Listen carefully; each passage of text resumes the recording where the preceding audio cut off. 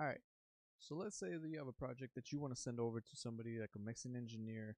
Um, maybe you're sending it back to a producer, an artist, and you just want them to check it out. You're working off of Logic Pro X. So, this is what we got so far in this project.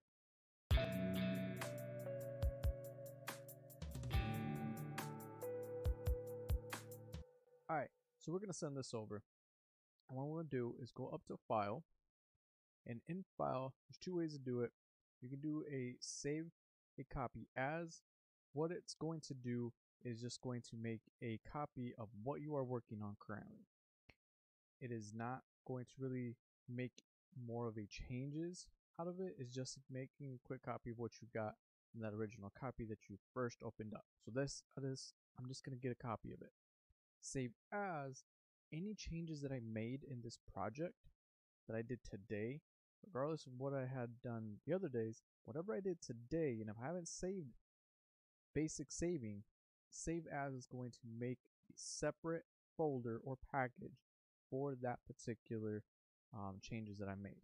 So on this particular one, I just want to make send it over from what I have, go save a copy as, and what I normally do is if I'm sending it to somebody, I'm going to make another little folder in that section I have it. As you can see, I have some other saved projects for it.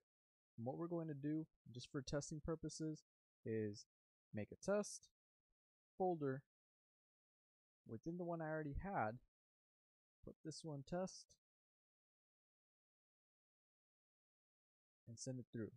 Now, one thing I did not do to check because of this particular one. But when you do it, make sure you're sending all the necessary files with it. Make sure you're sending the audio files if you recorded anything, samplers, Alchemy audio, Ultra Beat, anything that you use out of here, make sure you're sending all that with too as well.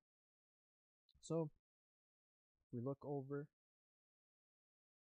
and we go to our finder, see test is in there, we see our project folder, and here's everything that we're going to send. We can then go back to this one, this main thing, compress it, and that's what we're going to send.